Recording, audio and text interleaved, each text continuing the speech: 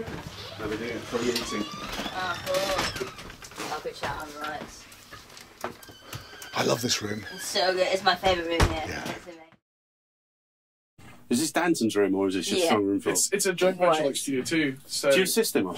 No. You're just so you're just in here. Yeah. Steph just uses this room a lot. Okay, yeah. cool. It's just it, so. This room is my favourite drum sound in London, and Oh, cool.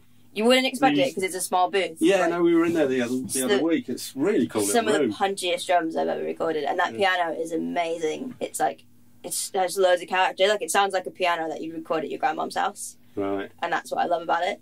Um, I think so many studio pianos are really soulless. Yeah. So the f- like, I guess at Strongroom anyway, you There's the a whole few, point of aren't Strong there? Room is vibe. Yeah. So you you wouldn't get that. Like you wouldn't, you'd never get a soulless piano at Strongroom. It's just not Yeah. what Strongroom is, and that's what's amazing about this room. Is it really encapsulates what Strongroom is? Just So how long you been coming to Strongroom there? about five years. Yeah. So they were one of the first studios to hire me when I was an assistant, Right. and just have been really supportive ever since. I think a lot of studios, as soon as an assistant starts moving up, they kind of forget about them and Yeah. think, well, they don't need us anymore, whatever. Whereas Strongroom have been always really, really good with like with my career of giving me discounted studio time when I needed it and just helping me when I first started producing to now. I mm. can, I pretty much bring as much stuff as I can here because it's it's my favorite place to record in London. Do you, do you have a room of your own at home? Yeah, you work so in? I've got a room not far from here, Right. which I kind of try to not to tell people because I'd Yeah. rather record here. Yeah. So I pretty much can do everything besides drums in my room. Yeah. But then whenever there's budget and we need a good drum sound, this is this is yeah, like the I first place I call. suppose it's everything else around it as well, isn't it? You sort of walk into a facility and there's people around. Yeah, like if people really underestimate the people involved with a studio, if that Yeah. makes sense, and Yeah. it's so warm coming into Strongroom and everyone's just Yeah. really friendly and lovely to see you, as opposed to that whole like corporate studio thing. Yeah. It's so not that here, and it's great to just like come in and like catch up with everyone and Yeah. feel supported, I guess. And it doesn't matter what clientele it is. It could be a massive artist, or it could be someone who's just starting out. You always feel supported. That's cool. And the, really the rooms are really nicely set up. I mean, Yeah. monitoring's a massive thing, isn't it? Yeah. And the environment. We were just talking about air conditioning and Yeah, just, just having somewhere where, they, where you can actually get on with work for hours on end and Yeah. not feel pressured, really. definitely like it sounds amazing here. I was just saying like everything I record here translates Yeah. really well. And then you also have like natural daylight with like especially in summer and autumn, like with the vines, it's beautiful.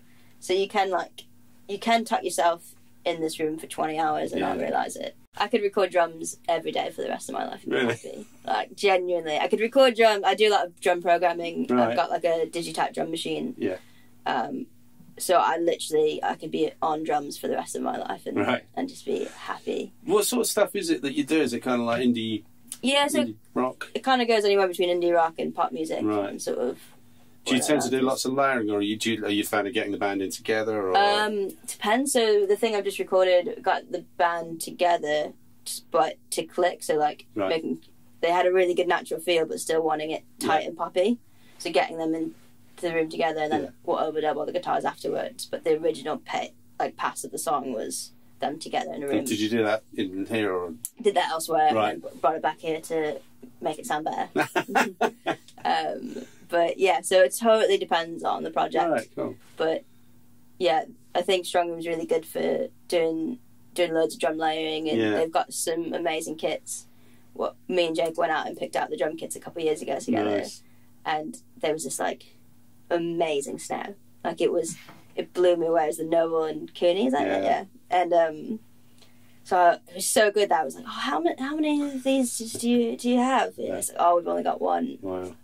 and it took everything out of me to not be like, I'll pay double than what? Strong are paying. but and then now, that's half the reason I come here. Yeah. It's like they've got such good like backline equipment here, which a lot of studios surprisingly don't have. No, they don't. You were showing me up in the attic. I guess your. Yeah. your sort of cage Yeah. Area. yeah.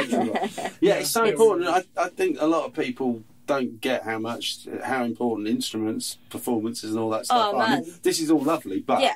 but honestly, I could have, I could have a eight SM57s on a drum Yeah. kit. If it's a good drum kit, it's Yeah. gonna sound great. And that's like the old. Whenever I speak to like musicians, I'm like, yeah, we've got to get it right at source, Yeah, and then totally. the mics will be secondary.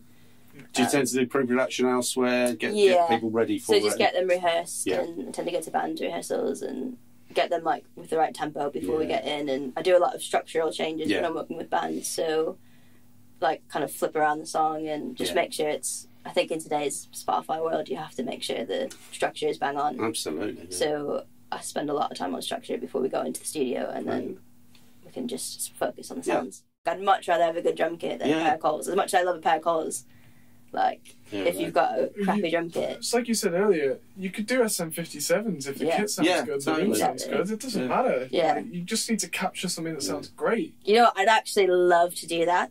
Of like Let's do it. get a really good kit in a room, and just put 57s on and see if people like can know, can like tell. You know what I mean? We like, did. We did it. Didn't we? We Did did. you? We did a, dec- a Decker desk Yeah. Mm. with um, with quite expensive mics around it in a kind of a Yeah. um, Glyn Johns Elan. thing. Nice. And then I, I brought in uh, four 604s, you know, the clip-ons, and I put two on stands, one in front of the kick and one on the snare, and it was like, there you go. Oh, that's amazing. it was amazing. just like that. Sounds Yeah. so much better. Good, Exactly. It's good sauce and a good room. Yeah, That's totally. Yeah. Our food too. Oh. cool. Well, thank you guys so much. Thank you.